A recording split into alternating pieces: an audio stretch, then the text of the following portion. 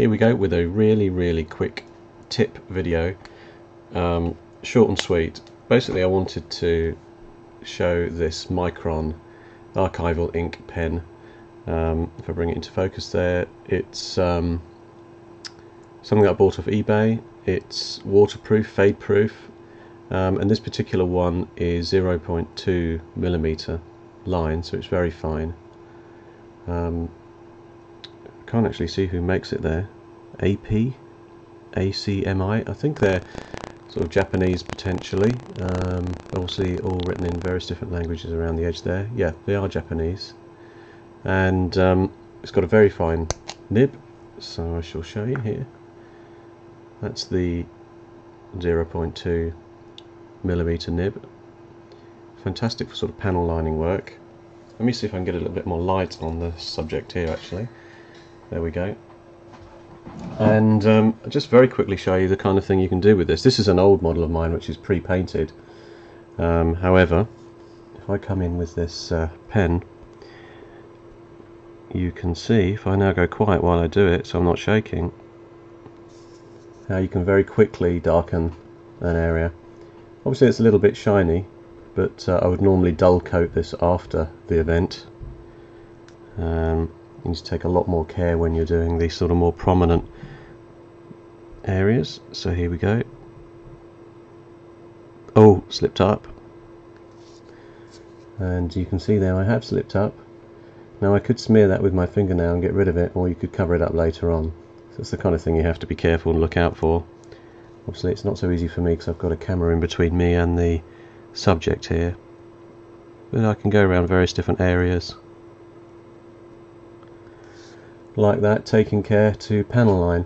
It's not everybody's favourite uh, final technique actually, and in many ways the um, the quality of a mech can look quite good without having every single individual tiny area uh, panel lined. But you may wish to do the darker recesses or little areas like this to sort of bring them out.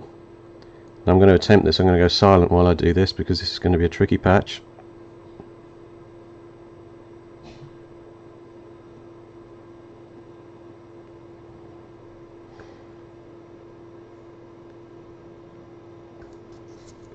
So there you go. Obviously, under close scrutiny, it's quite of a stark uh, shadow.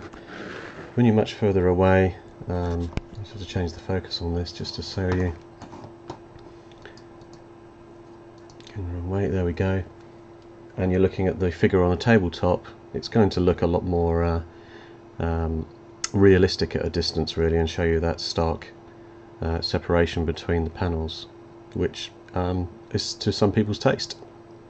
Okay, so one other thing I'll show you on here, which I attempted on a Google Hangout last night but failed. I'll bring it back into the close view and refocus. What we can do here is show you the weathering from Tamiya. It's uh, Tamiya Weathering Master and it comes in this sort of um, makeup like kit. Once you've popped it open which I'll do now whoa. You can see inside that it does look like a sort of a compact makeup kit and you even get a little spongy uh, and brush end to use. So the colours in this set are burnt blue, burnt red and oil stain. I'm going to try that oil stain so all you do is gather some of that onto the end of this foamy tip. I've already actually put some on this model before. Try not to get too much shadow over it while I do it.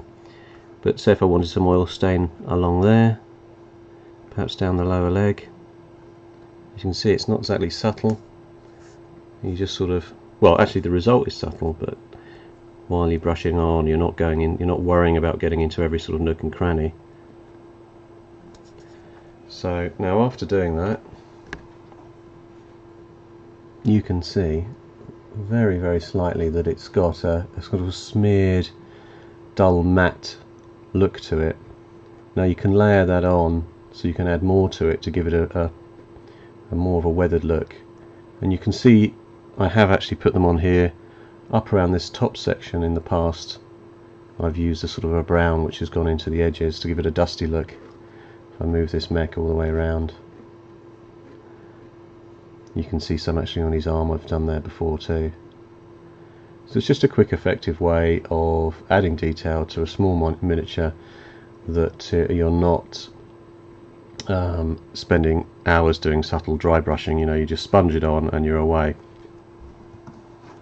okay video over. That was a couple of short tips